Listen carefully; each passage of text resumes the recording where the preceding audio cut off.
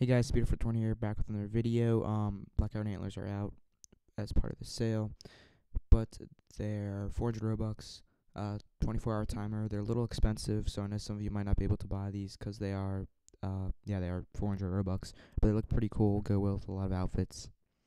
Yeah, and I would pick them up before they don't, they won't come back. Uh, before, you know, I would, yeah, pick them up, okay? Um, if, if you can. So, yeah, that's all for this video. I'll see you guys later.